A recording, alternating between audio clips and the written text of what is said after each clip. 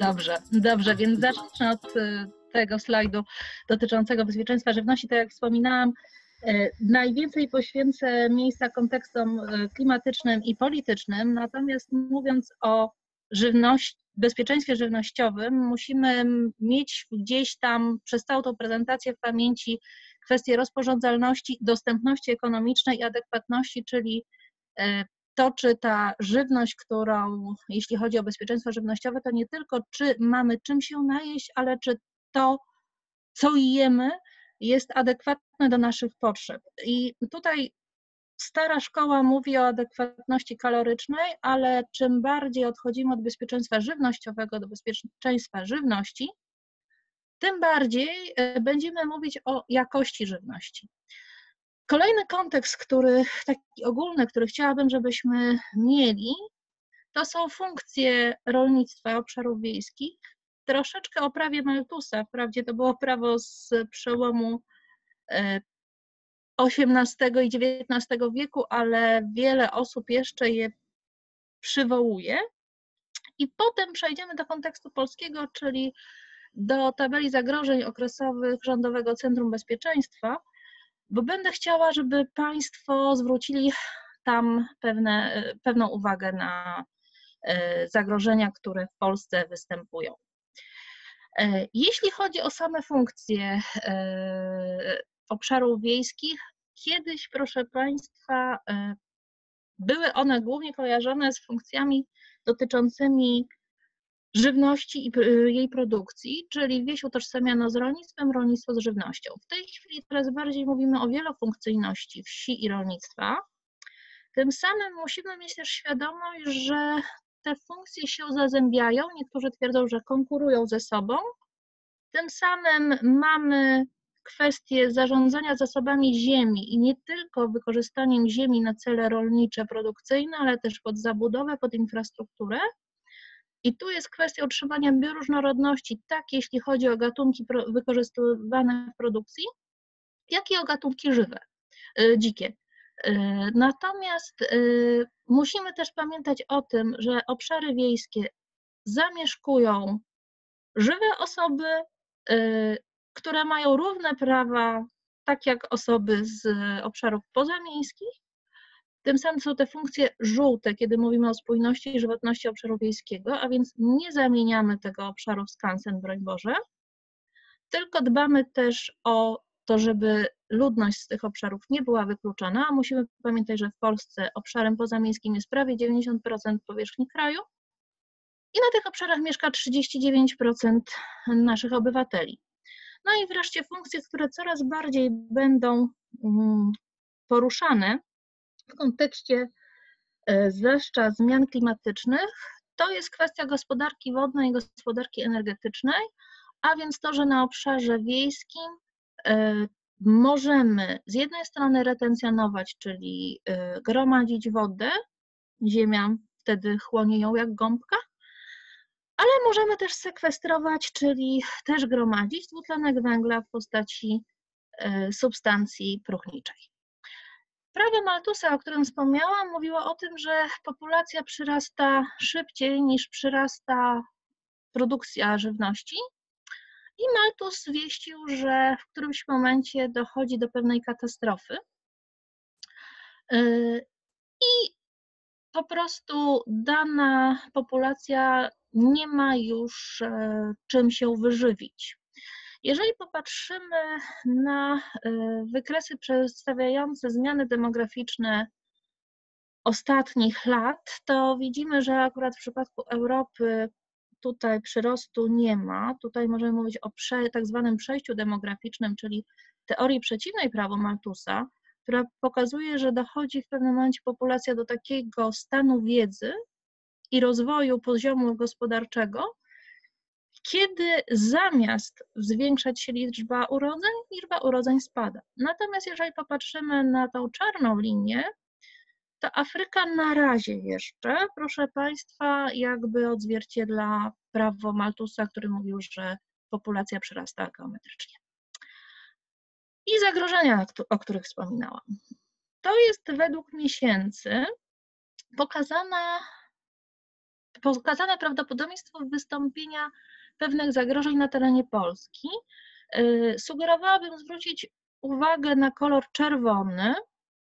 To są te zagrożenia, które według Rządowego Centrum Bezpieczeństwa, y, ta tabela została opublikowana w 2013 roku, były uznane jako te najistotniejsze, ponieważ przynoszące największe straty finansowe. Natomiast ja prosiłabym, żebyście Państwo spojrzeli na ten kawałek. Tu jest susza. Ona wprawdzie została oceniona wówczas jako zagrożenie o średnich stratach finansowych, natomiast ja będę starać się Państwu pokazać, że w przypadku bezpieczeństwa żywnościowego to jest jednak istotne zagrożenie. I przechodząc już bardziej do naszego tematu, tak jak powiedziałam, będą jakby dwie części. Jedna dotycząca bardziej przemian klimatycznych, druga polityki rolnej Unii. Natomiast e, w tym wszystkim e, będziemy jeszcze mieć globalne trendy przemian. E, przemian na arenie międzynarodowej. I już przechodząc do zmian klimatu, możemy stwierdzić, że wzrasta nam temperatura, zwiększa się parowanie wód, a zjawiska, które zachodzą w atmosferze są bardziej gwałtowne. I gdybyśmy przekładali to na konsekwencje e, na Polskę, to tutaj możemy stwierdzić, że miesiące zimowe są dużo cieplejsze, bez okrywy śnieżnej, są one wilgotne. To wszystko, proszę Państwa, ma wpływ na e, jakość i warunki przezimowania upraw. E, tym samym powoduje też e, różne warunki przezimowania patogenów. Mamy deficyt opadów wiosnoletnich. To znaczy, że w okresie zasiewów oraz w okresie, kiedy ziarniaki w zbożach gromadzą substancję zapasową tej wody, mamy deficyt. No i wreszcie e, to, co zostało wcześniej już wskazane też na kolor czerwony, poza powodziami, które tam były na czerwono zaznaczone, to tutaj mamy kwestie wiatrów e, oraz burz, które też są często połączone z wichrami. Jeszcze cofnijmy się, popatrzcie Państwo, na czerwono były głównie zaznaczone powodzie, przy czym głównie powodzie opadowe, Natomiast na czerwono też były zaznaczone trąby powietrzne w okresie sierpień. I gdybyśmy chcieli popatrzeć, czy, czy faktycznie mamy na to dowód, to jeżeli popatrzymy na klasyfikację temperatury powietrza w ostatnich 60 paru latach, kolor zielony będzie oznaczał pewną normę. Kolor niebieski jego odcienie będzie oznaczał lata chłodne, natomiast kolor czerwony ekstremalnie ciepły. Patrząc od, począwszy od 1951 roku do prawie końca lat 80., mamy lata, które moglibyśmy uznać za normę, bądź lata chłodne. Już 89 rok jest ekstremalnie ciepły. Jeśli popatrzymy na kolejne lata, to tutaj już kolor zielony znika. Kolor niebieski pojawia nam się w 2010 roku, a więc w roku e, powodzi. Nie ma tutaj zaznaczonego jeszcze roku 2017, ponieważ monitoring, który jest, z którego pochodzą te dane, Instytut Meteorologii i Gospodarki Wodnej publikuje z pewnym przesunięciem, więc teraz na początku 2018 roku będą podobne tabele publikowane dla e, zeszłego roku, on prawdopodobnie też będzie zaznaczony bądź w zieleni, bądź w odcieniach niebieskiego ze względu na liczbę opadów, ale to jest, to powiedziałam, głównie tabela temperaturowa. I to, co widzimy, rok 97.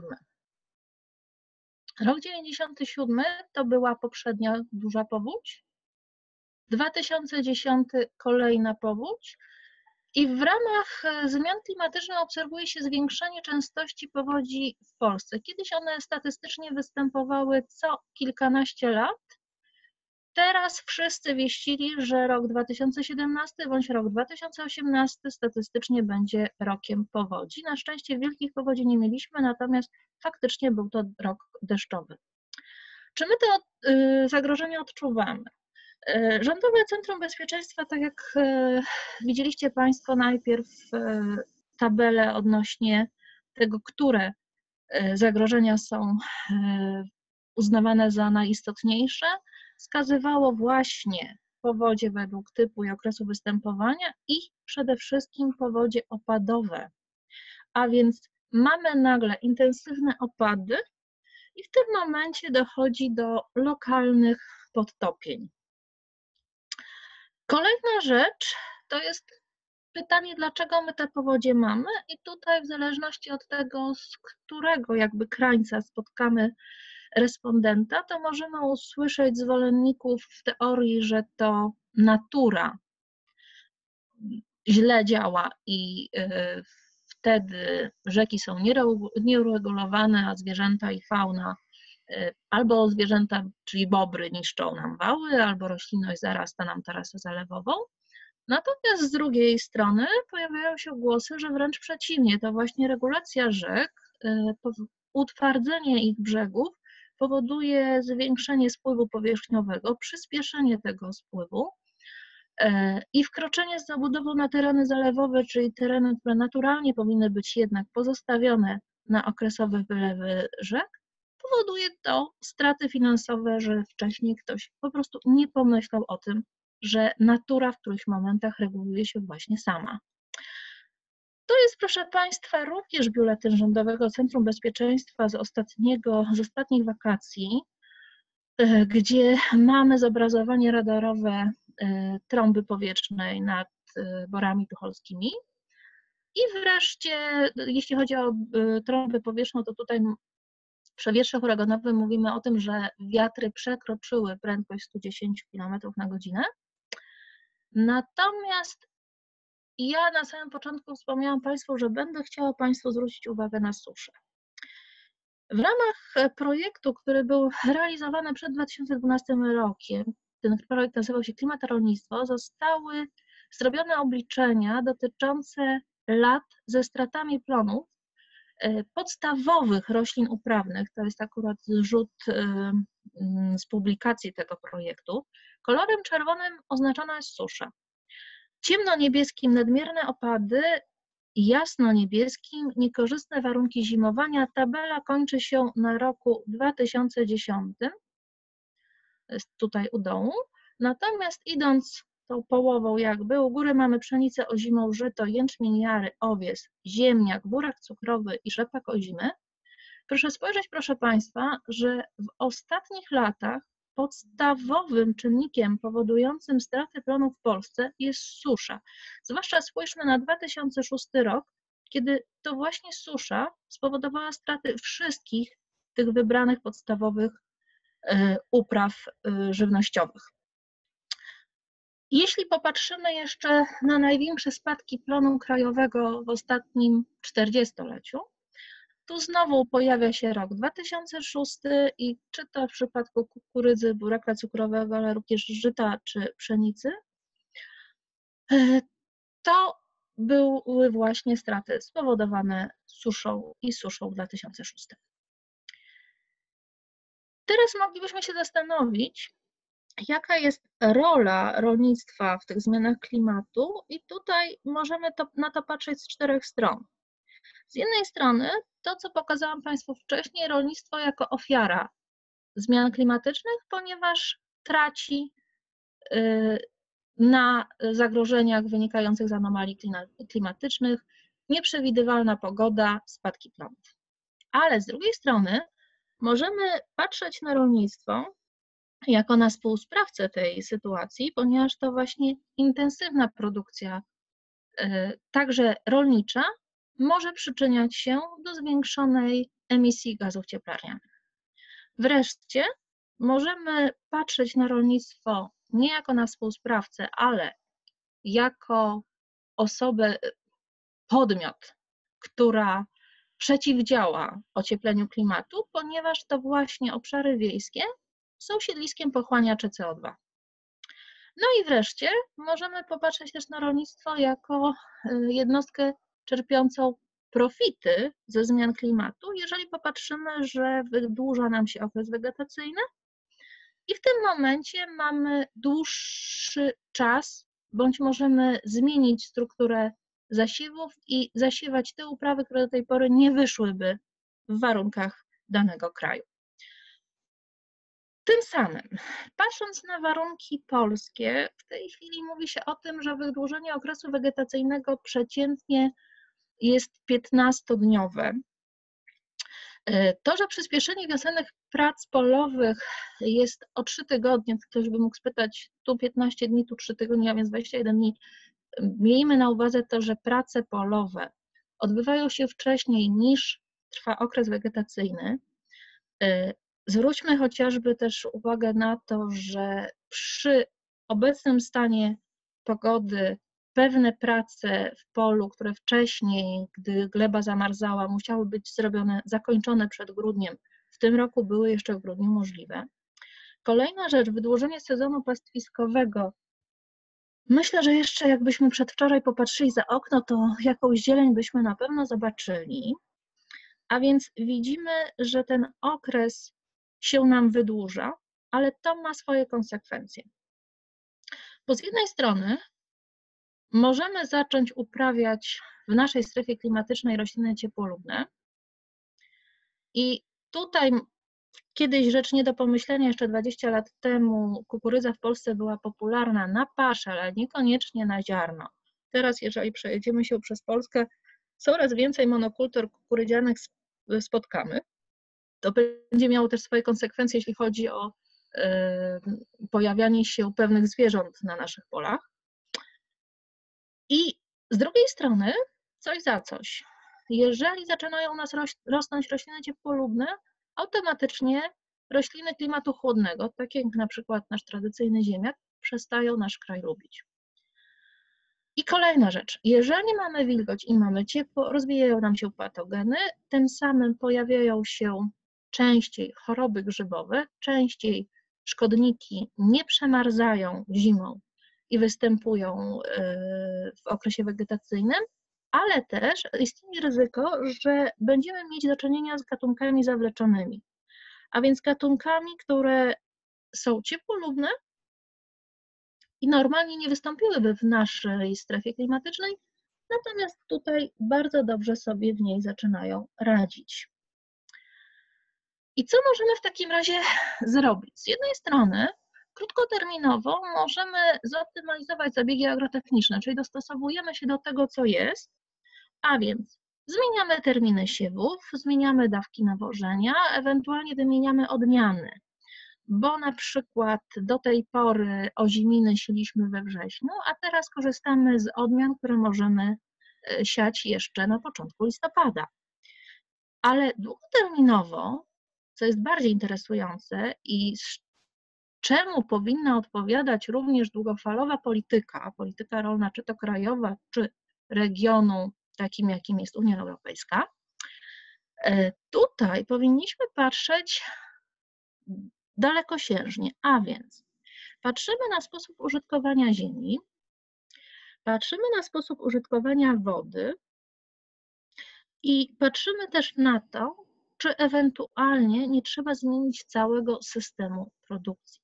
A więc tutaj są te składowe znacznie szersze i oczywiście one wymagają też odpowiedniej wiedzy, przepływu odpowiednich informacji, ale też często nakładów finansowych. To tyle jakby na tej części klimatycznej. Natomiast spójrzmy w tym momencie na to, jakie trendy, co dzieje się w tym momencie na świecie i jakie trendy widzimy w polityce. I ja będę, y, mówiąc o polityce, będę też troszeczkę mówić o historii polityki rolnej w Unii Europejskiej, ponieważ y, nie znam Państwa, którzy nas y, słuchają dzisiaj. Być może dla kogoś to będzie oczywiste, ale myślę, że warto powtórzyć, skąd przybywamy do tego momentu, w którym jesteśmy. I proszę Państwa, z jednej strony mamy liberalizację handlu międzynarodowego. Tutaj są pewne wytyczne WTO. Z drugiej strony możemy mówić o pewnej współzależności krajów, ponieważ jeżeli mamy y, globalne warunki, pewne regiony, które kiedyś, z których kiedyś produkty do nas by docierały w bardzo długim czasie, w tym momencie te regiony bardzo szybko mogą nam dostarczyć swoją produkcję i konkurują z jednej strony z naszymi lokalnymi produktami, a z drugiej strony my możemy się po prostu uzależnić od tamtych regionów. Więc wzrasta ta współzależność różnych państw, to działa w obie strony. Wzrasta w te, też w tym momencie problem rozlewania się na cały glob kryzysów gospodarczych i nie tylko gospodarczych, natomiast kryzys występujący punktowo może mieć swoje konsekwencje setki bądź tysiące kilometrów dalej. Wreszcie mamy w tych warunkach e, pewne globalne porozumienia, czyli już nie rozwiązujemy problemów lokalnie, nie stosujemy instrumentów e, chroniących tylko rynek swój wewnętrzny, ale jesteśmy coraz chętniejsi do pewnych międzynarodowych partnerstw. E, ja tutaj wymieniłam partnerstwa handlowe, ale też partnerstwa dotyczące połowu ryb, e, ale wymieniłam również porozumienia dotyczące ochrony klimatu, jak protokół z Kioto i porozumienie paryskie z 2015 roku, bo na, tych, na tym zwłaszcza aspekcie będę chciała się skupić, bo on będzie oddziaływał na kształt polityki, którą będziemy później mieć. Oczywiście tamte międzynarodowe partnerstwa też będą na to oddziaływać, natomiast z racji naszego dzisiejszego tematu te porozumienie omówię szerzej. E, kolejna rzecz, jeśli chodzi o e, to, co globalnie możemy obserwować, to coś, co w literaturze nazywamy upowszechnieniem miejskiego stylu życia. A więc e, częściej, statystycznie częściej używamy żywności prze, przetworzonej, marzymy o pewnym standardzie życia i ten standard życia się unifikuje w różnych częściach świata, zwłaszcza kraje rozwijające dążą do pewnego standardu życia, który w, w krajach nazywanych rozwiniętymi już istnieje. I w tym momencie mamy też e, pewne ujednolicenie konsumpcji, ponieważ przykład, banany nie rosną w Polsce, a jednak je jemy. I w tym momencie jest to pewna konkurencja dla rodzimych jabłek, tak? Tym samym to ujednolicenie konsumpcji może, choć nie musi być zagrożeniem dla lokalnej produkcji. I wreszcie pewna obserwacja y, w, bardzo często wraz ze wzrostem gospodarczym w krajach rozwijających się rośnie spożycie, spożycie mięsa. Y, to ma swoje pewne konsekwencje, jeśli chodzi o e, częstotliwość występowania pewnych chorób cywilizacyjnych. E, to ma też swoje konsekwencje, jeśli chodzi o emisję gazów cieplarnianych, ponieważ e, jeśli chodzi o zarzuty dotyczące rolnictwa, to jednym z zarzutów, które jest stawiane, to jest kwestia produkcji chowu bydła, jako y, tego źródła, które emituje metan. Kolejny problem, tu już przechodząc do bezpieczeństwa żywności, nie tyle bezpieczeństwa żywnościowego, a więc nie tyle do zapewnienia ilości jedzenia, co do jego jakości, to jest kwestia antybiotykooporności albo antybiotykoodporności, a więc y, Również jest to kwestia pewnych pozostałości związków chemicznych w żywności, e, które rzutują też na stan naszego zdrowia w konsekwencji spożywania żywności zanieczyszczonej. Gdybyśmy, proszę Państwa, popatrzyli na wyzwania, które postawiono w 1992 roku na szczycie Ziemi i porównali je z dzisiejszymi latami, to niestety musimy stwierdzić, że nadal, e, nadal mamy problem. ponieważ już wtedy sygnalizowano zanik gatunków naturalnych, ekspansję gatunków obcych, a więc gatunków zawleczonych z innych kontynentów, z innych stref klimatycznych, ta utrata bioróżnorodności nadal postępuje. Nadal pogarsza nam się jakość powietrza, gleb i wód, nadal mamy problem z degradacją i pustynieniem i nadal wzrasta nam koncentracja CO2. To, co się zmieniło, to to, że coraz częściej deklarowana jest wola polityczna, by przeciwdziałać. Chociaż gdy mówię coraz częściej, to nie do końca jest y, jakby prawda, ponieważ e, część krajów, mimo że podpisało porozumienie w 2015 roku, teraz już się z tego porozumienia klimatycznego wycofuje.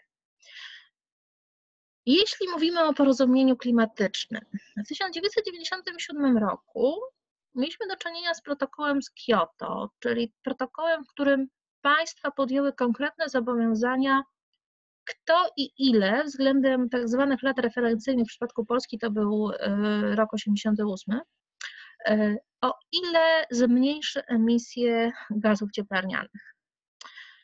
To, co zarzucano protokołowi z Kioto, że miał on charakter jedynie deklaratywny. Nie było żadnych e, przewidzianych konsekwencji dla państw, które pomimo, że obiecały tego, nie dotrzymają. Ten protokół musiał być oczywiście ratyfikowany przez e, odpowiednią ilość państw. E, dopiero w 2005 roku e, była dostateczna liczba państw, żeby uznać, że ten protokół chodzi w życie. Natomiast to, co ważne, to Polska często w dyskusjach międzynarodowych przytacza, że ona wypełniła z nawiązką swoje zobowiązania z protokołu z Kioto. Natomiast jeśli popatrzymy na rok 2015, a więc kontynuacja e, spotkań konwencji klimatycznej, to jest pewien przełom, ponieważ tutaj znowu poza spotkaniami, kiedy państwa deklarują chęć jakiegoś działania, tutaj znowu dzieje się coś konkretnego, a więc jest podpisane porozumienie, które dość dokładnie mówi, że mamy spowolnić ocieplanie atmosfery. Oczywiście my w tym miejscu nie będziemy się zajmować tym, czy faktycznie zmiany klimatyczne są zawinione przez człowieka, czy nie. Natomiast mówimy sobie, tak chcemy spowolnić I chcemy w tym momencie e, szybciej redukować emisję gazów cieplarnianych.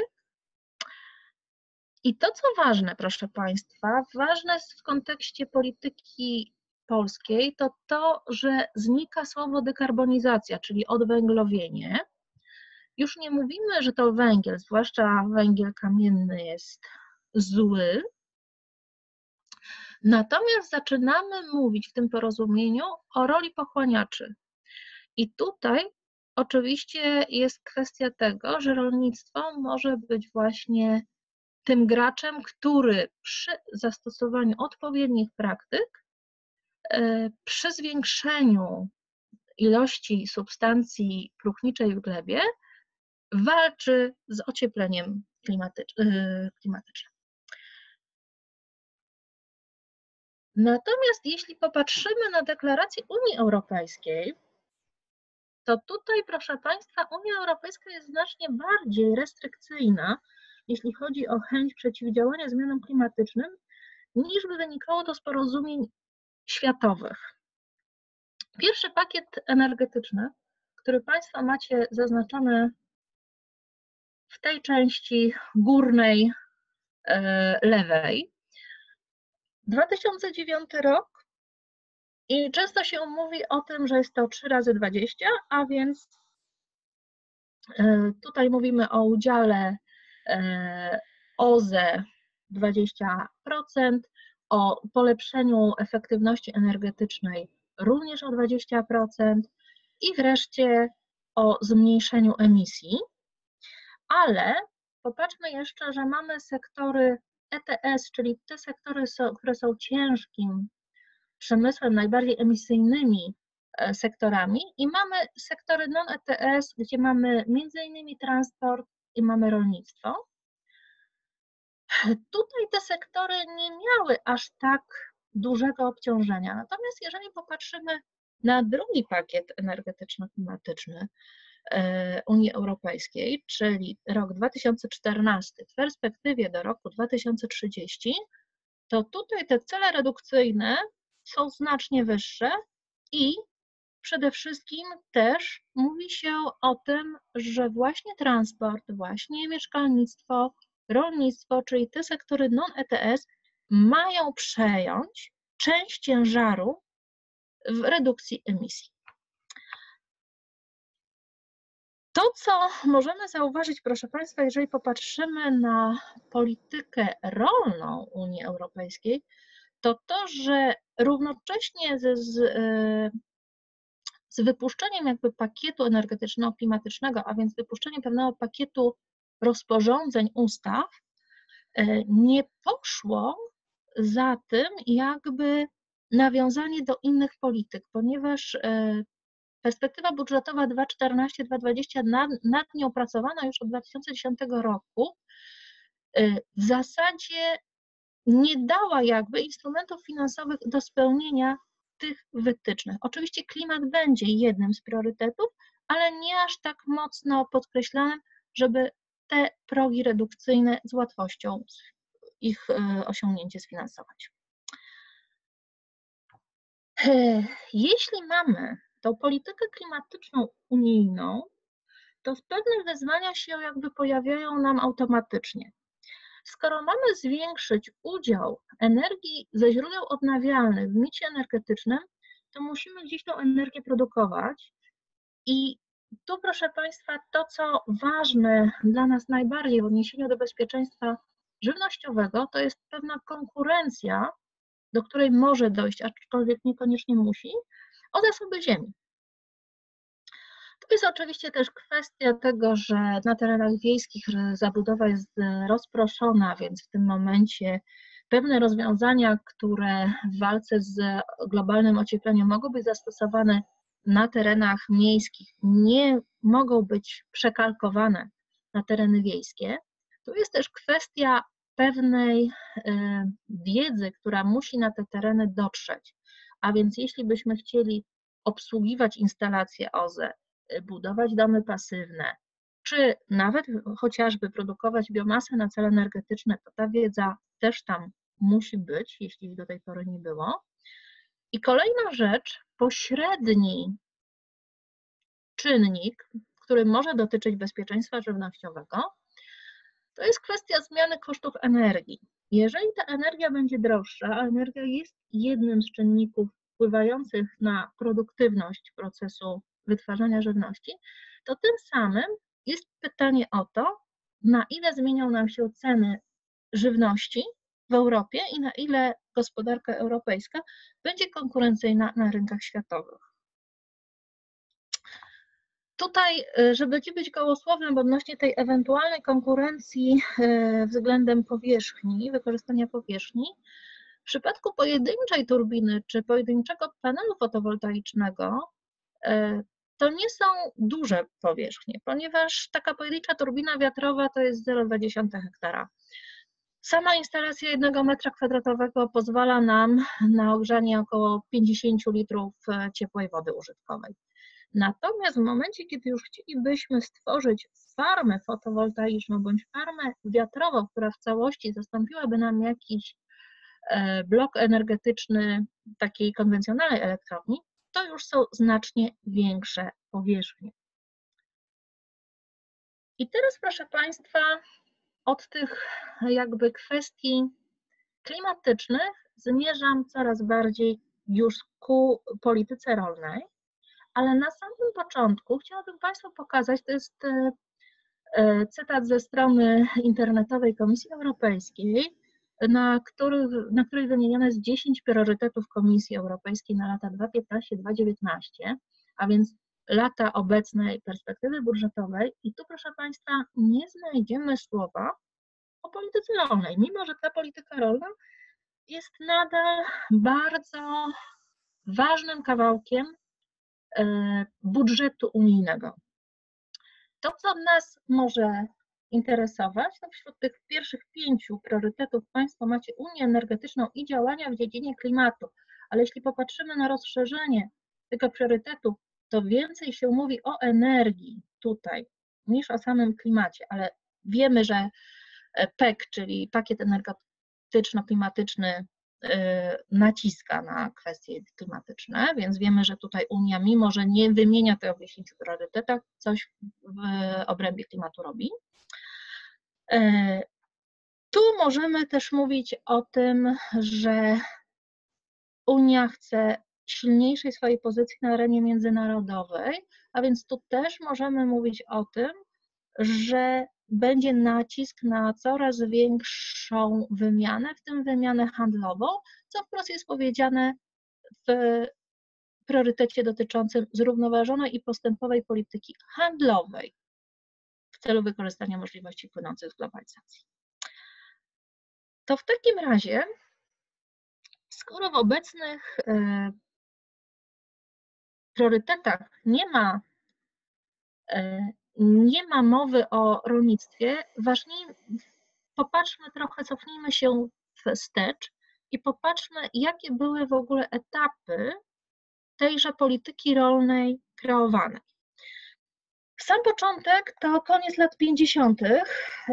i tutaj, proszę Państwa, macie narodziny WPR-u, ale potem y, ten interwencjonizm na rynku rolnym był zmieniany musiał być reformowany, ponieważ pojawiły się nadwyżki. I jeżeli popatrzymy na cele, jakie towarzyszyły, to we wczesnych latach, proszę Państwa, to był problem bezpieczeństwa żywnościowego, ponieważ Unia borykała się z brakiem żywności, bo była wycieńczona e, jeszcze wtedy konsekwencjami II wojny światowej.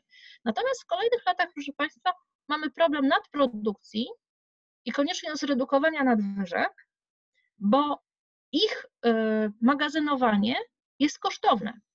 Natomiast jeśli spojrzymy już na XXI wiek, to tutaj, proszę Państwa, mamy odejście od płatności y, związanych z produkcją, co częściowo wymusiła Światowa Organizacja Handlu, a przejście do płatności tak zwanych bezpośrednich, a więc tak jak w przypadku Polski, związanych z powierzchnią. I wreszcie Mamy lata 2014-2020, kiedy znowu pojawia się wśród celów bezpieczeństwo żywnościowe, ale w dużo większym naciskiem na tak naprawdę bezpieczeństwo żywności, a więc na jakość żywności.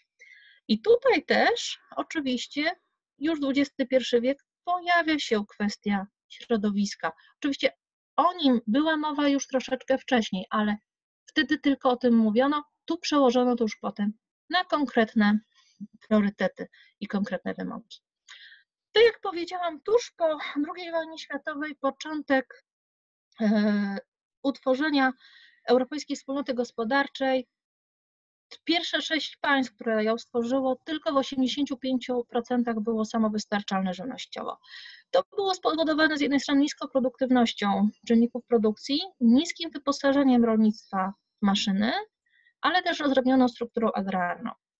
Tym samym wówczas nastawiono się na intensyfikację, nastawiano się na skumulowanie y, areału i odejście od drobnych gospodarstw do gospodarstw wielkoobszarowych. Natomiast jeśli popatrzymy na zapisane wówczas cele w traktacie rzymskim, to musimy stwierdzić, proszę Państwa, że one w dużej mierze odpowiadały, jeśli Państwo sobie kojarzycie jeden z pierwszych slajdów, ten kiedy mieliśmy problemy z łączem, była mowa o wymiarach bezpieczeństwa żywnościowego i tam była rozporządzalność, a więc e, to, że mamy dostęp w ogóle, że się najeść i dostępność ekonomiczna. Cel czwarty i piąty odpowiadają spełnieniu tych wymiarów bezpieczeństwa żywnościowego. Również spełnianiu tego y, służy cel pierwszy, a więc jeśli chodzi o dwa główne wymiary bezpieczeństwa żywności poza adekwatnością, to one są w tych celach zapisane. Żeby nie być gołosłownym, że e, ta polityka pierwszych lat doprowadziła faktycznie do, do nadwyżki produkcji, to proszę Państwa, możemy porównać. Linia zielona to jest od lat 60. do końca lat 70. produkcja zbóż w Europejskiej Wspólnocie Gospodarczej, natomiast linia niebieska to jest zużycie i pole czerwone to jest wówczas brak, pewien niedobór produkcji. Natomiast w latach 70., y, koniec lat 70., czyli raptem pierwsze 20 lat działania y, WPR-u, doprowadzamy do tego optimum, kiedy te dwie linie się spotykają. Natomiast już w 1968 roku zaobserwowano, że ten moment nastąpi. Tym samym stwierdzono, że w takim razie trzeba troszkę zmienić e, działania. I tu już po raz pierwszy, proszę Państwa, pojawiła się kwestia zalesiania i odłogowania, a więc wycofywania części zasobów, części potencjału produkcyjnego. I teraz w zależności od tego, e, czy on będzie mógł wrócić w każdej chwili do tego, żeby produkować żywność, czy nie, będzie zależało bezpieczeństwo żywnościowe w przyszłości. Tutaj cały czas jeszcze była kwestia koncentracji podaży. Natomiast jeśli popatrzymy już na lata 80., a więc moment, kiedy te dwie linie z tego wykresu nam się e, spotkały, możemy powiedzieć, że te cele, które kolejne reformy proponowane, nie zatrzymały intensyfikacji wzrostu produkcji, a tym samym Następował wzrost wydatków z budżetu EWG na magazynowanie nadwyżek. I kolejna rzecz. Głośno powiedziano wówczas o tym, że jest koncentracja wsparcia, czyli 20, 20% rolników otrzymuje około 80% wsparcia z całego budżetu, a więc znaczna część funduszy trafia tak naprawdę do niewielkiej liczby silnych gospodarstw, które teoretycznie mogłyby poradzić sobie same. Dlaczego możemy zadać pytanie, dlaczego wówczas nie zatrzymano interwencjonizmu i nie wycofano się w ogóle z dotowania rolnictwa? Powody były dwa. Po pierwsze to to, że ceny żywności nie podlegają tak prosto y, reakcji na wahania popytu i podaży. Dlatego, że nasze żołądki mają ograniczoną pojemność. Tym samym, nawet jeśli cena żywności bardzo spadnie, to nie zjemy więcej, a zarazem też, jeżeli nawet żywność pójdzie szalenie w górę i ceny, to my nie przestaniemy jeść.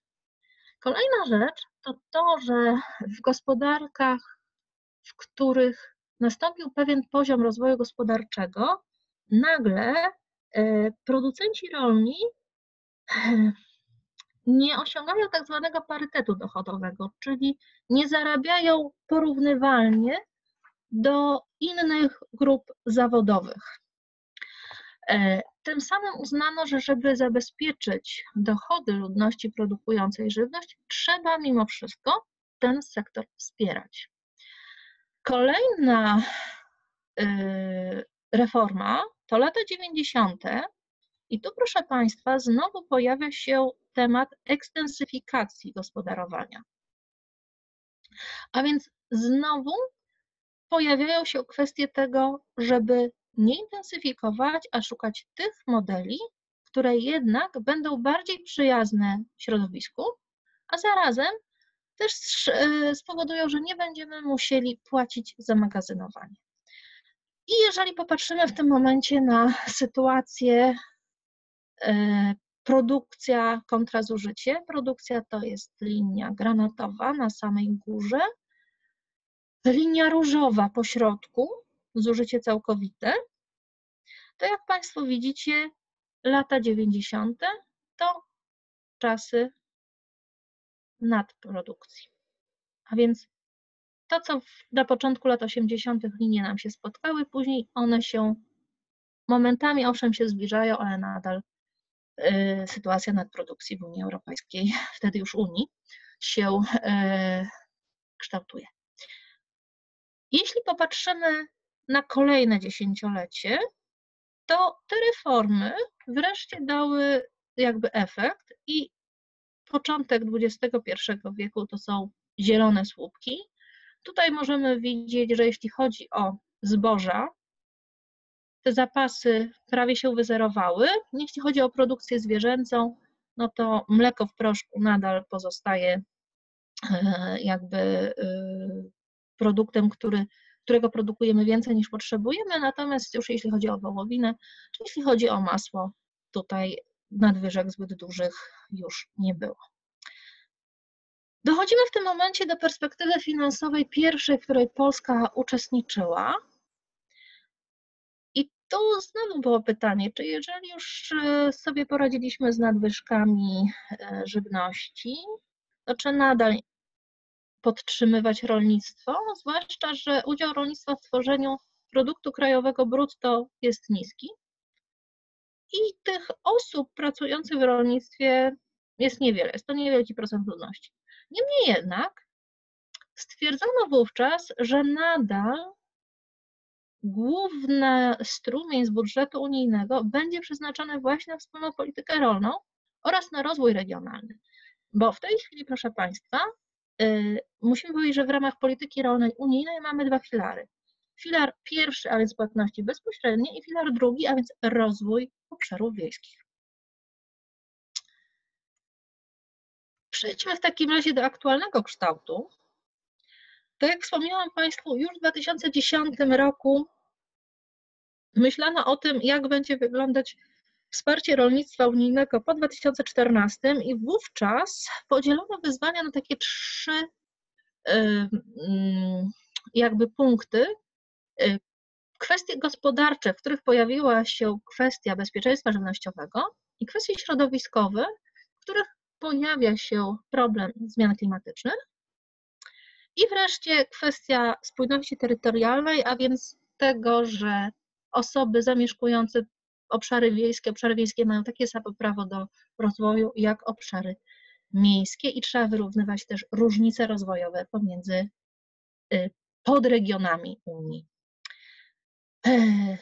Te wyzwania przedkładały się na pewne cele strategiczne, i tutaj, tak jak powiedziałam, w ochronie środowiska były bardzo akcentowane zmiany klimatyczne, natomiast jeśli chodzi o tę gospodarkę i bezpieczeństwo żywnościowe, tutaj z jednej strony akcentowano potrzebę stabilizacji dochodów rolniczych, ale też kwestię tego, że e, jakby o roli rolników E, i o cenach żywności decyduje długość łańcucha żywnościowego. Zwracono uwagę na to, że przetwórcy bądź e, dostawcy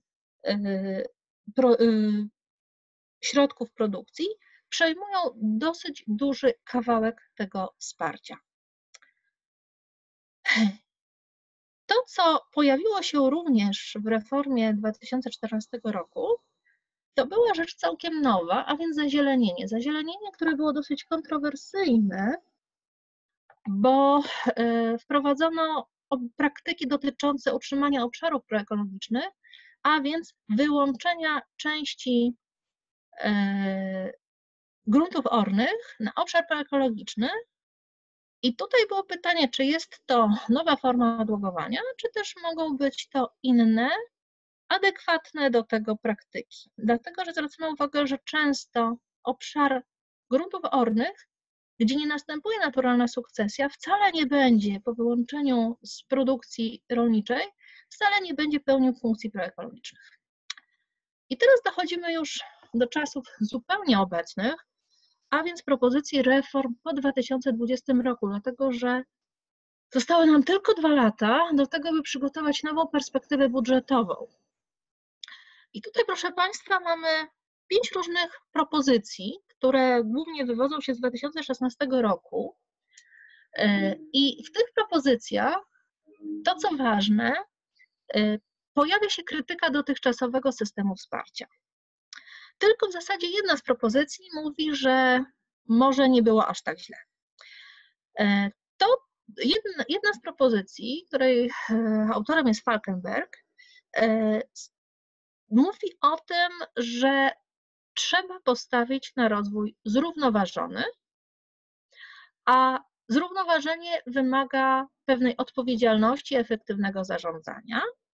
Natomiast nie ma aż tak, może dokładnie w tej propozycji reformy, e, mowy, jak to precyzyjnie miałoby wyglądać. Jest tylko krytyka, że rolnictwo, które nie ochrania, nie polepsza wiejskich źródeł utrzymania, jest niezrównoważone. E, jest mowa o tym, że należy podejmować pewne działania, które z jednej strony będą wpływać na efektywne wykorzystanie zasobów, ale też będą zachowywać, chronić zasoby naturalne. E, w tym samym mniej więcej e, czasie powstaje propozycja reformy ze strony Holendrów, którzy wówczas była prezydencja holenderska i oni chcą zmiany dotychczasowego WPR-u we wspólną politykę rolną i żywnościową. Zamiast dwóch filarów proponują pięć i akcentują bioekonomię. I tutaj już faktycznie jest dużo więcej mowy o bezpieczeństwu żywności. Tutaj też jest dużo więcej położenia nacisku na łagodzenie zmian klimatycznych, ochronę bioróżnorodności, a także na spójność terytorialną. E, wśród tych propozycji są dwie propozycje francuskie, w tym jedna e, przez Momagri dana, kiedy od obecnych dwóch filarów mamy odejść do dwóch innych modeli. Pierwszy model miałby się nazwać Europejskim Wsparciem Jakościowym, gdzie wszyscy otrzymaliby 75 euro na hektar jako taką dopłatę za to, że każdy, kto Y, jest rolnikiem, prowadzi działanie prośrodowiskowe, a oprócz tego y, inne dopłaty miałyby być y, dawane jako tak zwana stworzenie tunelu cenowego, czyli ustawienie ceny równowagi na poszczególne produkty rolne, czyli powrót jakby do wsparcia powiązanego z produkcją. Tu oczywiście możemy sobie zadawać pytanie, na ile WTO takie rozwiązanie e, akceptuje. Dla Parlamentu Europejskiego powstała propozycja najbardziej zbliżona do kontynuowania tego, co jest do tej pory. Tyle tylko, że robimy pewne opreszczenia, tworzymy jeden filar, e, wprowadzamy płatności antycykliczne i to krytykowane zazielenianie przemieniamy. No i wreszcie też propozycja francuska. Zamiast płatności bezpośrednich robimy zintegrowane zarządzanie ziemią i tutaj robimy cztery warstwy. Pierwsza to na pierwsze 15 lat dajemy pewną płatność dostosowawczą, która pozwoli rolnikom przyzwyczaić się do tego, że odchodzimy do, do obecnego systemu wsparcia. Druga to to, że rolnikom dajemy y, taką dotację za to, że faktycznie y, oni przyczyniają się y, do pewnych działań prośrodowiskowych, ale przede wszystkim myślimy w tym momencie o rolnikach z terenów górskich, takich terenów, które służą faktycznie utrzymaniu pewnych trudnych warunków produkcji bądź utrzymaniu jakichś specyficznych pastwisk, a więc tam, gdzie jakieś działania prośrodowiskowe się odbywają, ale warunki są niekorzystne. Trzecia warstwa, obligatoryjna dla wszystkich krajów członkowskich, y, to jest płatność y, wypłacana rolnikom za to, że dostarczają pewne dobra publiczne, ale już bez podziału na to, czy oni gospodarują w górach czy na nizinach. I wreszcie ostatni poziom, tak zwany wyższy poziom płatności środowiskowych, czyli tylko dla tych, którzy faktycznie poczują ideę ochrony środowiska, tylko ci mieliby składać wnioski o e, wybrane dofinansowania za bardzo konkretne działania prośrodowiskowe. I na koniec, w listopadzie 2017 roku, y, Komisja Europejska opublikowała swój komunikat, który nie ma zbyt wielu szczegółów dotyczących kształtu przyszłej polityki rolnej, a tych szczegółów nie ma, dlatego że nie ma jeszcze budżetu. Niemniej jednak mm, ten komunikat y, oczywiście był stworzony potem, jak tamte pięć propozycji reform zostało poznanych. Natomiast niekoniecznie jest powtórzeniem którejkolwiek z nich. Przede wszystkim mówi się o konieczności innowacji, o inteligentnym rolnictwie, które jest odporne na ryzyka, w tym ryzyka, które wynikają ze zmian klimatycznych.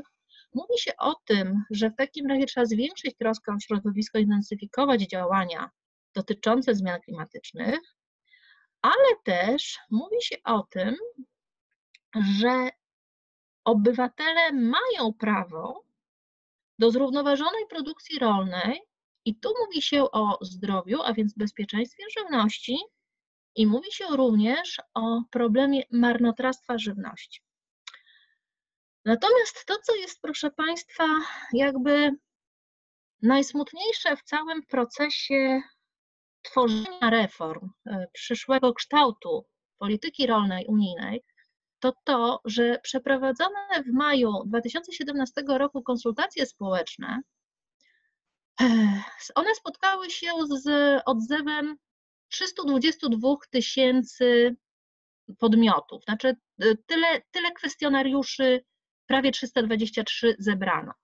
Niestety tylko 5 tysięcy pochodziło z Polski. To jest zaledwie 1,82%.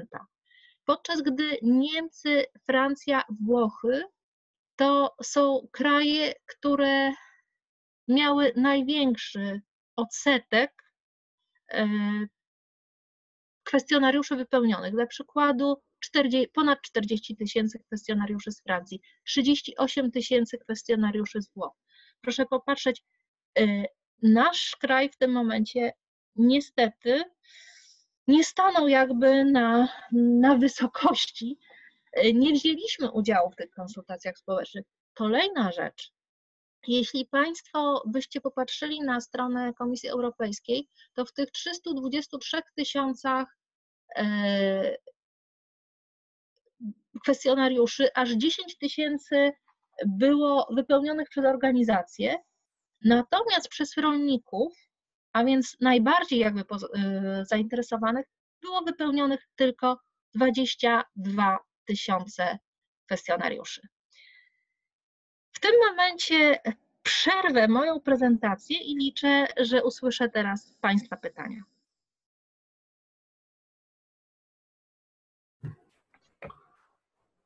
Dziękuję Pani bardzo. E, już się włączam też z powrotem.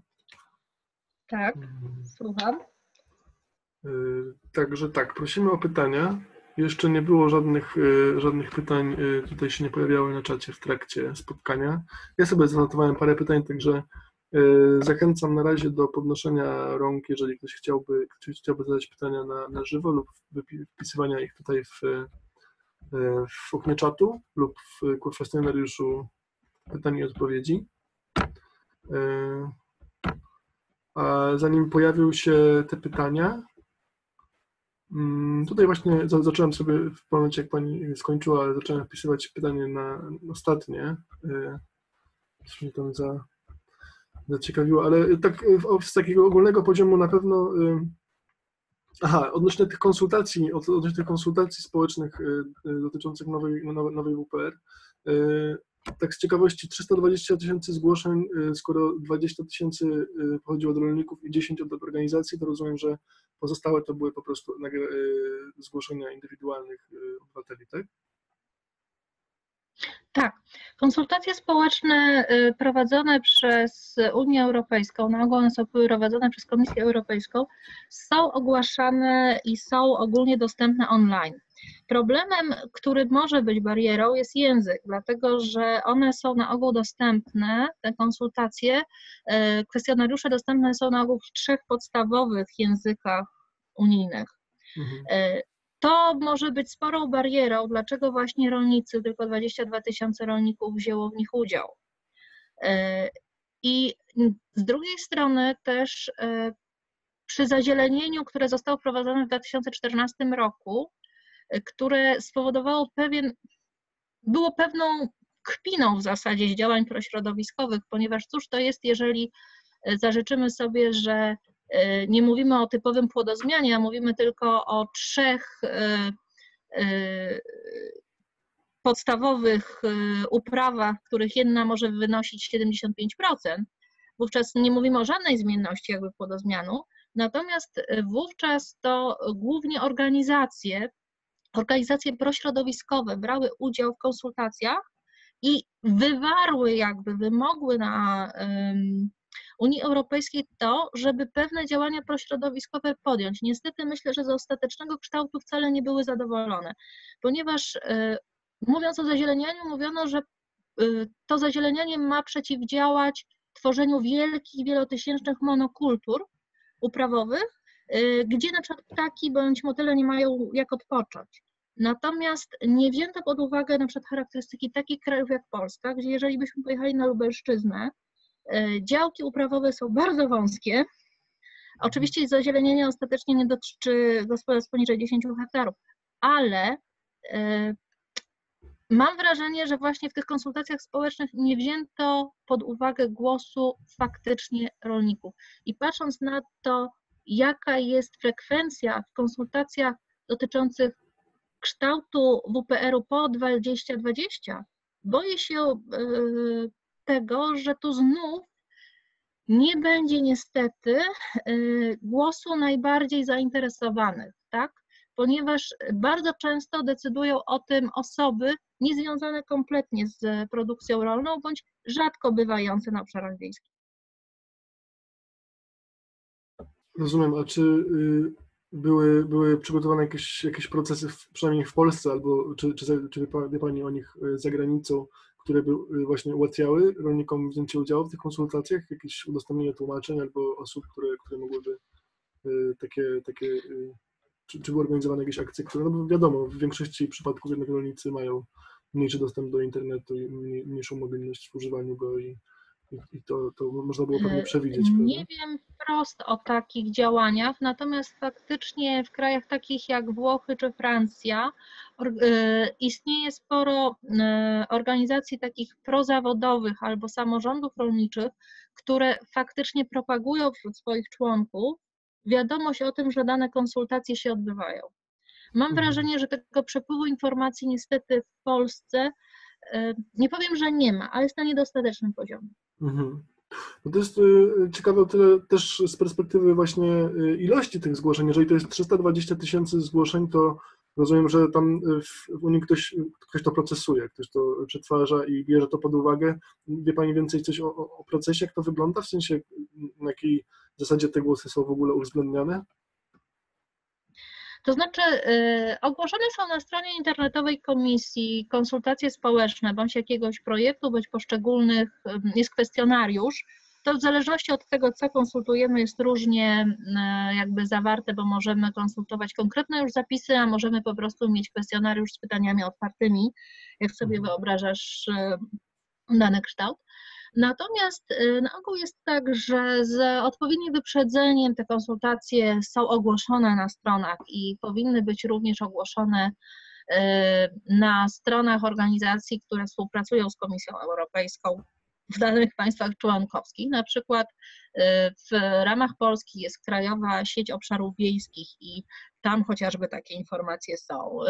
Jest strona Ministerstwa Rolnictwa i tam takie informacje są podawane. Natomiast y, udział w konsultacjach odbywa się w ten sposób, że online wchodzi Pan na stronę internetową y, takich konsultacji, y, wypełnia kwestionariusz. W tym momencie wypełnia Pan ten kwestionariusz bądź jako osoba fizyczna, bądź jako organizacja. I w tym momencie mm, jakby później te głosy, powiedzmy, są liczone tak samo, tak? Jest to głos w konsultacjach. Mhm. E, tutaj w przypadku e, pozostałych osób jakby fizycznych to było 290 tysięcy, tak? 10 tysięcy kwestionariuszy było z organizacji, a więc raptem e, jakieś 3% kwestionariuszy, tak? Mhm. Natomiast jeśli chodzi o tych pozostałych, nierolników. Tutaj na przykład nie wiemy, czy byli to mieszkańcy obszarów wiejskich, czy też nie. Rozumiem. Mhm. E, No dobrze, bo rozumiem, że te konsultacje teraz też cały czas trwają, prawda? Jeszcze teraz do. To do znaczy maja. nie, nie. To były, y, to były zamknięte konsultacje już w maju 2017 roku.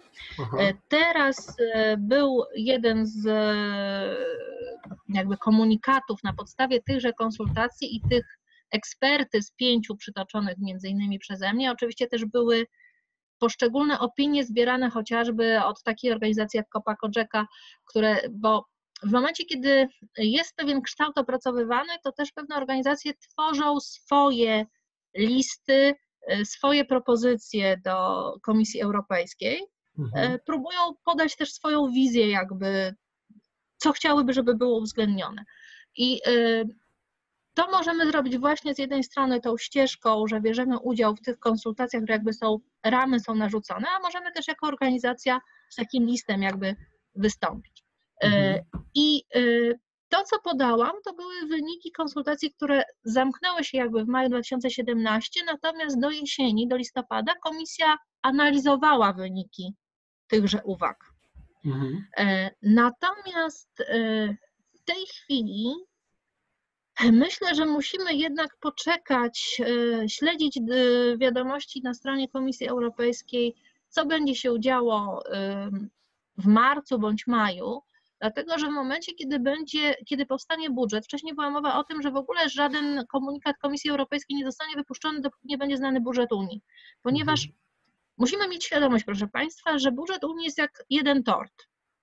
I wcześniej trzy czwarte tego tortu było konsumowane przez rolnictwo. Natomiast e, statystyczny obywatel Unii nie ma ochoty płacić na obszary wiejskie. I w tym momencie te wszystkie reformy, o których ja Państwu mówiłam, są po to, żeby z jednej strony utrzymać nadal wsparcie e, dla obszarów wiejskich, niekoniecznie produkcji, e, niekoniecznie rolnictwa, bo czas, czasami to jest właśnie kwestia infrastruktury na obszarach wiejskich. Natomiast jest kwestia też wytłumaczenia podatnikowi europejskiemu, dlaczego on ma finansować te obszary. E, I tutaj myślę, że powinniśmy śledzić z napięciem w tej chwili stronę komisji, ponieważ w którymś momencie będzie pokazany budżet i też będzie powinien być przynajmniej poddany. Ja nie powiem, nie wszystko jest poddawane konsultacjom, ale większość e, e, decyzji podejmowanych, propozycji e, tworzonych przez Komisję Europejską jest poddawana konsultacjom społecznym. Rozumiem, rozumiem. Bo teraz y, też y, moje pytanie wynika z tego, że jeszcze ostatnio wydaje mi się, że do w grudniu, że tam był chyba termin do 12 grudnia, y, y, związała się w Polsce taka koalicja wokół, y, wokół WWF, y, różnych organizacji pozarządowych Mhm. związanych właśnie z rolnictwem i z, i z ekologią i właśnie y, y, między innymi też jako nie braliśmy w tym udział, ale właśnie miało to na celu wystosowanie takiego stanowiska organizacji ekologicznych i, i ro- rolników ekologicznych z, z Polski właśnie w sprawie tej wspólnej polityki rolnej. I teraz y, pytanie, czy to, czy to, to, to było w ramach tego samego procesu i czy to też jest właśnie y, uwzględnione jako, jako, jako głos organizacji jest, rozumiem, w tym wypadku równo, równoważny z, z, To znaczy, myślę, że tak? jest to głos równoważny w dyskusji jako reakcja właśnie na listopadowy komunikat komisji. Mhm, rozumiem, rozumiem. Em, WWF była bardzo aktywną stroną e, w negocjowaniu kształtu zazielenienia aha, przed 2014 rokiem. Aha. E, A może pani, może pani jeszcze powiedzieć, e, e, jeszcze, bo ja nie wiem, czy dobrze zrozumiałem, w paru słowach właśnie zazielenienie, e, bo ja teraz sam, e, sam właśnie e, przyniosłem się na wieś i właśnie dowiadywałem się, dowiadywałem się, jak wyglądają dopłaty i rzeczywiście te dopłaty do zazielenienia są, e, poza tą podstawową dopłatą do, do hektara i to jest, e, rozumiem, że, że za, za, za, za zazielenienie uznaje się też po prostu odłogowanie, w sensie pozostawienie nieużytku rolnego w, w jakieś tam E, e, Tak? Tak, tak. To też jest zazielenieniem, natomiast musimy wziąć pod uwagę to, że e, jeżeli przeprowadzam się tylko na wieś, ale mam mały areał, mam tylko ogródek przydomowy, to absolutnie nie kwalifikuję się do tego, żeby pobierać dopłaty bezpośrednie. Jasne, jasne. Znaczy ja, Muszę mieć też mhm. Tak, no i to nie jest... Odpowiedni Mhm. Bo pani też... Natomiast Aha, przepraszam, proszę, proszę mówić. Natomiast ja bardzo bym przestrzegała osoby, które przeprowadzają się z miasta na wieś, często nie mając pewnych kompetencji odnośnie uprawy i największym błędem i grzechem, które można wykonać, z którym się spotkałam niestety wśród osób przeprowadzających się z dużych aglomeracji, które kupiły sobie ziemię jako e, lokatę kapitału, Mhm. i e, postanowiły w tym momencie korzystać oczywiście też z dopłat bezpośrednich, ponieważ prawo jest bardzo ogólne i zapis jest o utrzymaniu gleby w dobrej kulturze. Mhm. E, Osoby te uznały, że dobrą kulturą będzie, jeżeli e, raz w roku bądź dwa razy do roku tę glebę zaorzą. Mhm. E, Proszę też wziąć pod uwagę, że jeżeli myślimy o tym, e, żeby zachować glebę w dobrej kulturze, to nie wystarczy ją przewrócić dwa bądź trzy razy do roku, przeciwskuteczne możemy- właśnie. bo możemy w tym, w tym momencie glebie wręcz zaszk- zaszkodzić. Jeżeli będzie to gleba e, słabej klasy bonitacji, słabej jakości i my odwrócimy po prostu warstwę, ten y, poziom próchniczy, przełożymy do żywego piasku, odwrócimy go do wierzchu, albo będziemy y, taką glebę pozostawiać na zimę bez okrywy roślinnej, to Mhm. zwiększymy tak naprawdę erozję No i jasne. niestety odpływ substancji organicznej przyspieszymy. Tym samym niestety no można powiedzieć, że jest to luka w prawie, bo takie osoby są w prawie wziąć dopłaty, owszem, Mhm. ponieważ utrzymują według e, zapisów, e, przepis, przepisów, utrzymują tą glebę w dobrej kulturze, a tak naprawdę nie jest to dobra kultura. Mhm. No. I No, tak naprawdę mhm. bardziej szkodzą niż pomagają. Więc faktycznie zostawienie takiego użytku ekologicznego, na którym nastąpi e, sukcesja naturalna, z przyrodniczego punktu widzenia byłoby znacznie zdrowsze, tak? Mhm. Ponieważ e, w tym momencie tam następuje, jak powiedziałam, naturalne wkraczanie pewnych organizmów, które wcześniej w momencie, kiedy ta gleba była uprawiana, nie wkraczały. E, Natomiast jest jeszcze druga strona. Pytanie, czy sąsiedzi nie będą patrzeć na nas w tym momencie wilkiem. Dlatego, że Mhm. też weźmy pod uwagę, że e, rolnik konwencjonalny niekoniecznie kocha sąsiada, który ma jakiś e, teren zachwaszczony i te wszystkie e, nasiona chwastów padają na tamto pole obok, tak? Także musimy też, proszę Państwa, myśleć o tym, że chcąc samemu zrobić coś dobrego, żeby nie szkodzić innym i żeby współżyć zrównoważenie z naszymi sąsiadami. Więc to jest bardzo złożony temat, przeprowadzka i kwestia tego, czy mogę skorzystać z jakichś dopłat. No tak. Jak najbardziej zazielenienie, e, jeśli Pan pyta o odłóg, odłóg jest zazielenieniem, Mhm. jest praktyką. Mhm. Rozumiem. Znaczy to nie jest, to jakby za- zastanawiało mnie to, bo w ogóle nie spodziewałem się, nie spodziewałem się, y, bo to właśnie w Agencji Rozwoju i Modernizacji Rolnictwa y, dowiadywałem się o, o właśnie szczegóły, szczegóły właśnie różnych, różnych dofinansowań. My akurat e, mamy 7 hektarów i, zaczynamy je właśnie, no na, na, na razie w ubiegłym sezonie obsialiśmy tylko 2 hektary y, łubinem, y, na, na nawozem zielonym i, Mhm. i zaczynamy dopiero budować glebę, która jest w bardzo słabej kondycji. E, No jakby przy okazji, nie? Znaczy, korzystamy z tej ziemi, uprawiamy i, i, chcemy, i chcemy ją na pewno w całości użytkować i, i próbować tam różne, różne ekologiczne metody y, upraw. Też dostaliśmy w tym roku pozwolenie na, na konopie siewną. No tak na, na marginesie, znaczy na pewno y, też zdaję sobie sprawę z, z tego, jakie y, możliwości y, nadużyć stwarza cały system dopłat, prawda, bo to też jest właśnie powszechne. Tam wy- Wykaszanie łąk, o tym się dużo słyszy, czy właśnie ko- korzystanie właśnie za- zakup ziemi tylko, tylko, w, tylko na, poczet dopłat. Ym, I Mhm. właśnie, właśnie tak. zastan- co- mhm. bo zastanawiałem się, bo pa- pani o tym y, wspomniała, zarysowała, zarysowała ten problem, ale też nie, nie do końca to, to zrozumiałem. Dla, dlaczego w ogóle taka potrzeba i taki, ym, taka, te, takie, takie zjawisko zaistniało, że, że w takiej ilości i w takim, w takim, na taką ogromną skalę y, musimy dopłacać, dlaczego ta żywność się nie zwraca, dlaczego mimo intensyfikacji i takiej maksymalizacji zysków w rolnictwie i, i coraz, coraz większej oszczędności i tego, że właśnie mechanizacja coraz bardziej ogranicza pracę ludzką i zmniejsza koszt, y, dlaczego wciąż, wciąż to nie jest opłacalne i dlaczego ten interwencjonizm nie idzie raczej w stronę Y, uświadamiania ludzi zwiększania kosztów żywności, y, czy tam balansowania kosztów w ogóle budżetu domowego y, na korzyść żywności, żeby rolnicy mogli zarobić te pieniądze, a zamiast tego dopłaca się do ziemi. Za, I to nie jest za produkcję, prawda? Więc, za... mhm. więc tu są kwestie pewnych zaszłości historycznych. Weźmy pod uwagę z jednej strony, że państwo, które raz, kraj, który raz dostał pewną e, pulę budżetu na rolnictwo, tak łatwo z tego budżetu nie zrezygnuje. E, mhm. Więc e, jeżeli historycznie popatrzymy, w samym początku to było tak, że żeby zwiększyć opłacalność i zapewnić dochody mieszkańców wsi, a zarazem zapewnić tanią żywność obywatelom EWG,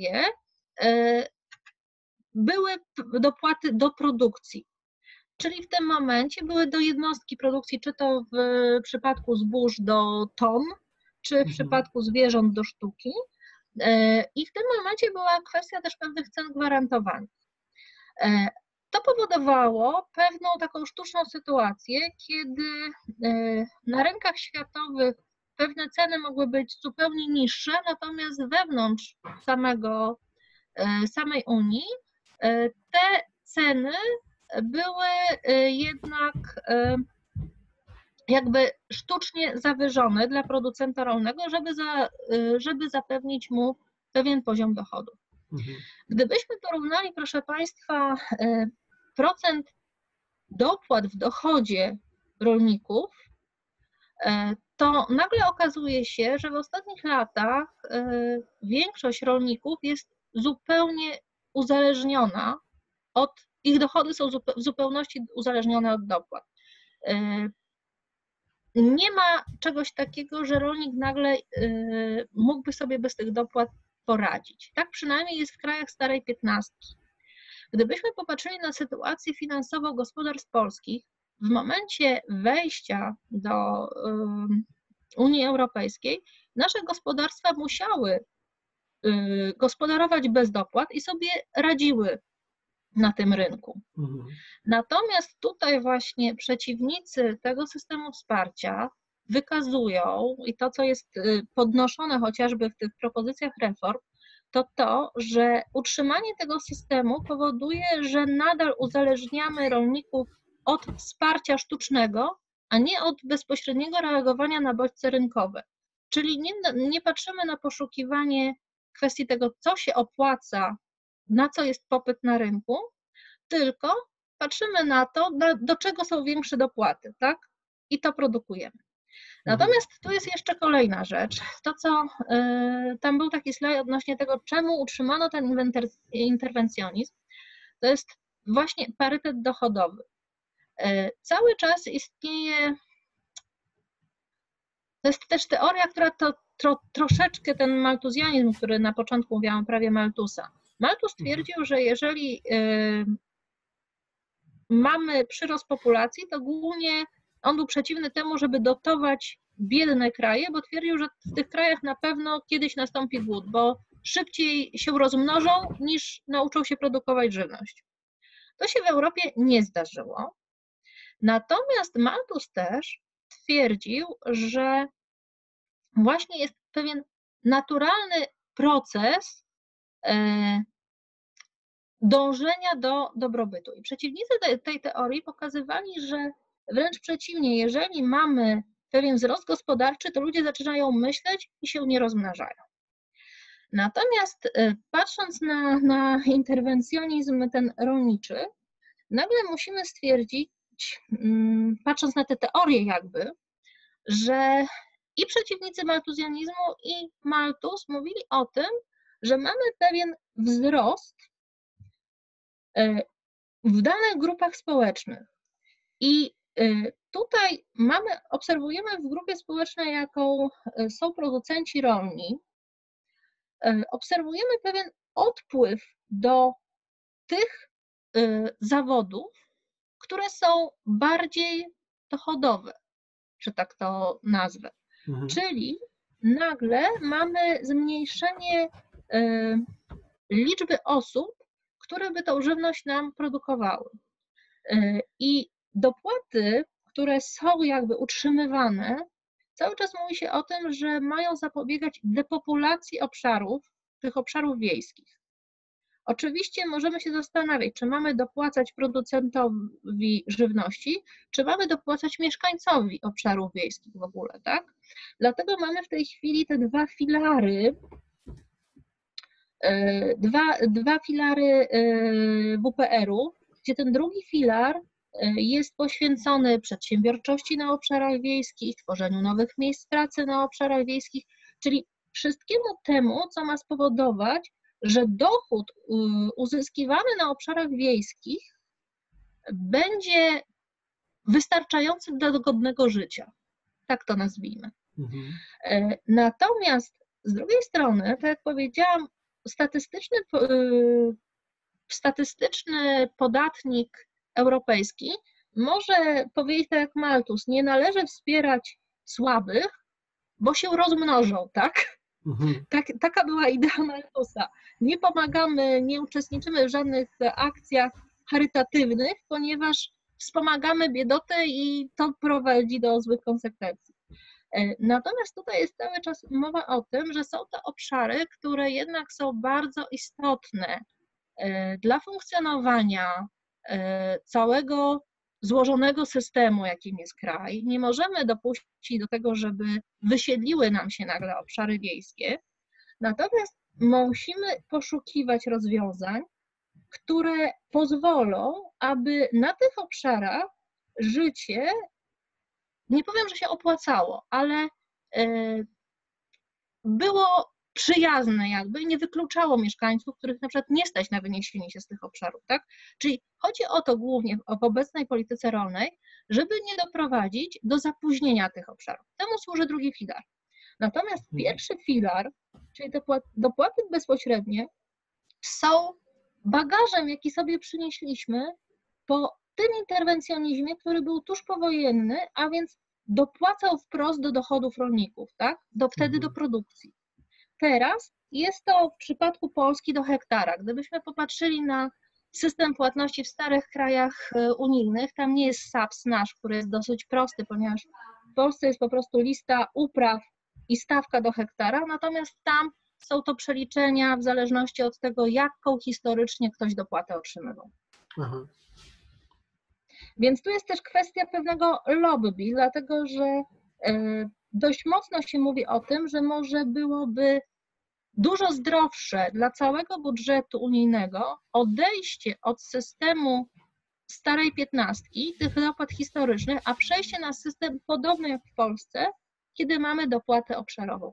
Jednolitą, tak? Czyli tak zwany SAPS e, w Polsce.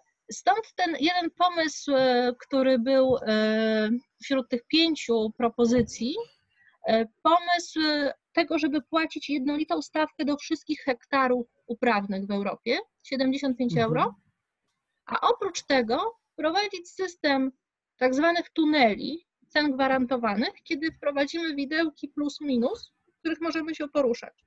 Natomiast pamiętajmy, że od tego systemu wsparcia cenowego yy, Unia musiała odejść z powodu liberalizacji światowego, yy, światowego handlu. Yy, wówczas Światowa Organizacja Handlu powiedziała Unii, moment, moment, te praktyki już nie mogą być takie, że wy produkujecie drożej, sprzedajecie na zewnątrz taniej, e, nie ma tak, takiej możliwości, nie ma możliwości już tak e, dokładnie zamknięcia granic Unii, nie wpuszczenia produkcji z zewnątrz, absolutnie nie. Więc stąd było odejście od tego systemu cen gwarantowanych i na początku te dopłaty, które teraz nazywamy bezpośrednimi, tak naprawdę się nazywały dopłatami kompensacyjnymi, czyli miały zwrócić y, rolnikom y, tą jakby hipotetyczną stratę z powodu tego, że Unia już nie mogła gwarantować takich cen, jakie, jakie gwarantowała wcześniej. Mhm. Rozumiem. No jest to, jest to na pewno dosyć zło- złożony proces Znaczy i myślę, długi, że to nawarstwiony bardzo. Byłby temat na oddzielny. No tak. No cykl cały, no cykl cały w ogóle. No tutaj jeszcze ja mam zanotowanych, y, zanotowanych kilka, no, około 10 pytań y, i myślę, że każdy z nich mógłby być, y, mógłby być to też właśnie rozwinięty w osobne spotkanie. Musimy już kończyć, jest w pół do dziesiątej. Bardzo szybko to zleciało. Bardzo, bardzo Pani dziękuję. Bardzo, bardzo ciekawa prezentacja i bardzo kompleksowa. Y, Właściwie nie, no, ba, ba, ba- bardzo dużo, dużo mi też rozjaśniła, jeśli chodzi właśnie i o te procesy historyczne, i o, mm, i o to, jak, jak y, wspólna polityka rolna zmieniała się w, y, w tych w ostatnich latach, czy w ogóle w, w, w XX wieku. A mogłaby Pani na koniec z własnej perspektywy dosłownie w paru zdaniach, nie wiem, czy to się tak da, ale y, czy mogłaby Pani powiedzieć, jakie są szanse na przykład, czy co, co może się zmienić na lepsze, a co może się zmienić na gorsze w tych, w tych nadchodzących, albo co, by, co według Pani na przykład y, byłoby korzystne, tak w takiej bardziej globalnej perspektywie, dalekosiężnej w kwestii klimatu i, i, i troski o, o, o, o, naszą, o, naszą, o naszą przyszłość tak naprawdę, a jednocześnie o, o, o, o codzienność. To jest strasznie kompleksowa rzecz, prawda? To jest bardzo kompleksowy, kompleksowy problem, więc na pewno nie ma prostych rozwiązań, ale, ale czy Pani może wskazać jakąś taką, y, jakiś taki kierunek, który właśnie dla, dla Pani wydaje się, wydaje się korzystny i który mógłby, mógłby, mógłby poprawić sytuację i rolników i... i Znaczy, mhm.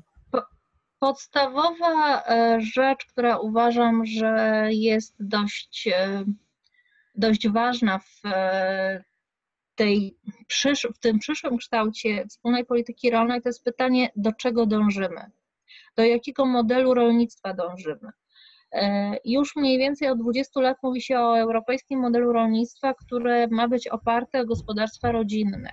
Mhm. Natomiast e, pytanie jest tej definicji gospodarstwa rodzinnego i tu jest pytanie właśnie, kogo chcemy wspierać, ponieważ większość ekonomistów powie, że wspieranie czegoś, co jest ekonomicznie nieefektywne, nie opłaca się. I stąd jest ta idea dopłacania za dobra publiczne, czyli kwestia przeniesienia ciężaru w tym momencie z płacenia mieszkańcom obszarów wiejskich, ja celowo nie używam słowa rolnik w tym momencie, ale dotowania tych obszarów, mieszkańców tych obszarów jako osób dbających o obszar, o obszar który pełni pewne funkcje prośrodowiskowe.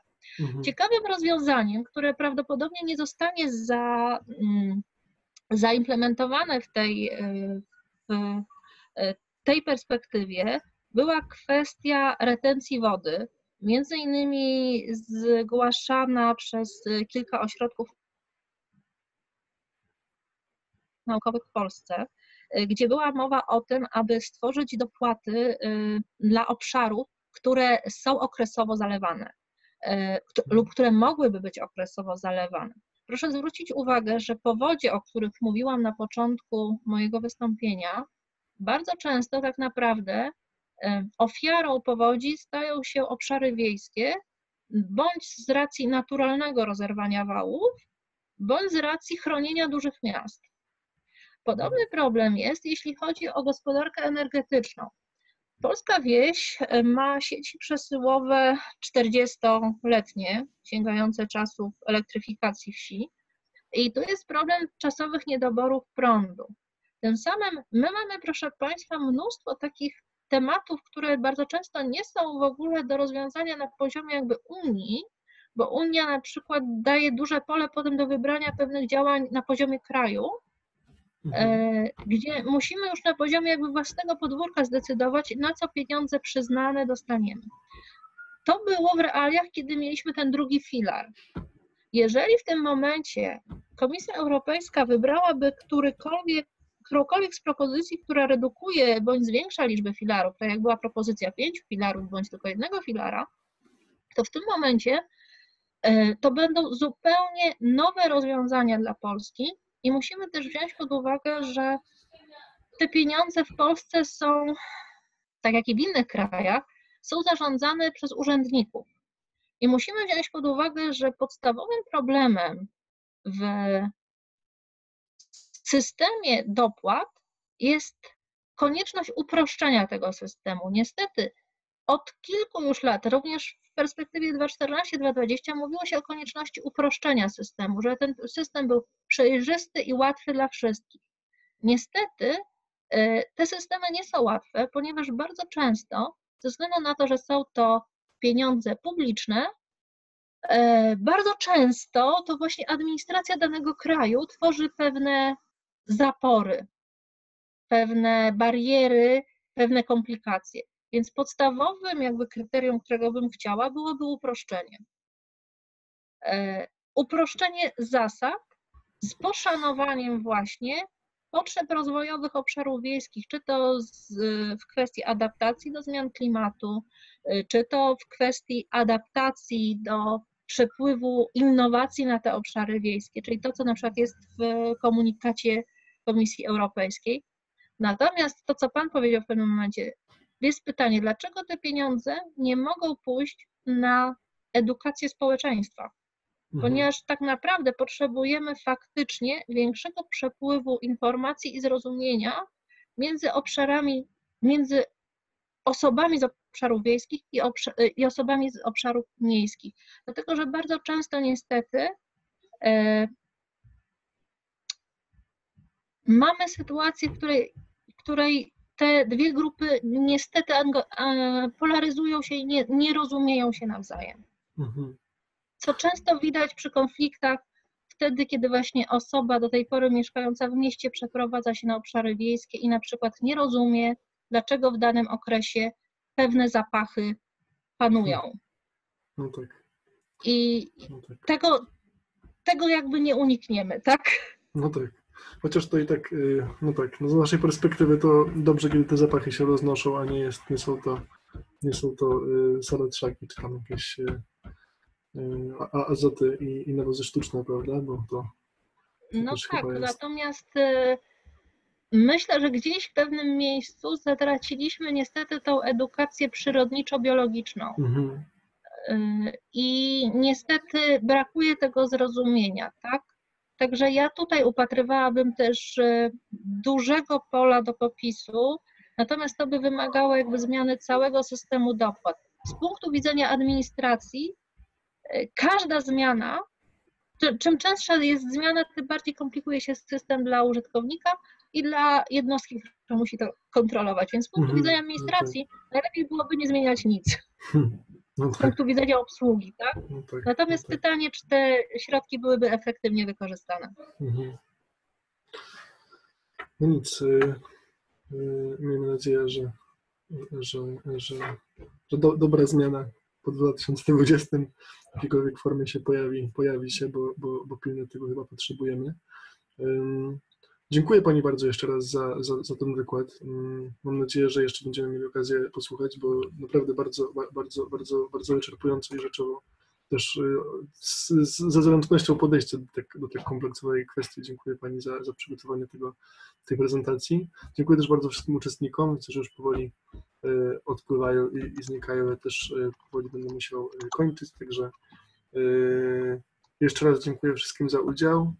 Y, będziemy y, zapraszać wkrótce na, jeszcze zdaje się, zostały nam dwa webinaria w serii w styczniu. Y, no i oczywiście zapraszamy też na forum suwerenności żywnościowej za dwa tygodnie w Warszawie. Mm. Ja bardzo dziękuję wszystkim za uwagę. Wiem, że to nie jest łatwe ponad półtorej godziny wysłuchać jednej osoby. Ale muszę powiedzieć, że ty, tym razem było to wyjątkowo, wyjątkowo, dla mnie przynajmniej to było wyjątkowo płynne. W sensie nie, nie zauważyłem, kiedy ta pół, to półtorej godziny minęło, także że dziękuję Pani za Cieszę się w takim razie. No w takim razie y, pozdrawiam serdecznie i dziękuję wszystkim uczestnikom jeszcze raz. Dziękuję, życzę miłego weekendu wszystkim. Mhm, wzajemnie też życzę Udanej, udanej soboty. Do, do usłyszenia, do widzenia.